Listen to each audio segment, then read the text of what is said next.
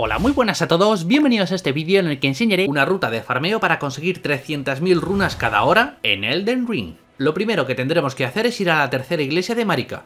Esto podemos hacerlo desde que comenzamos el juego y llegamos al Necrolimbo. Una vez aquí usamos un portal que nos llevará a Montegrado, Lecho de Greyol, y en esta zona activamos el lugar de gracia del Gran Puente de Farum. Tras activarlo realizamos la ruta indicada y cada enemigo que matemos nos dará 937 runas, tras acabar con ello, realizamos un viaje rápido al lugar de gracia que acabamos de activar y repetimos.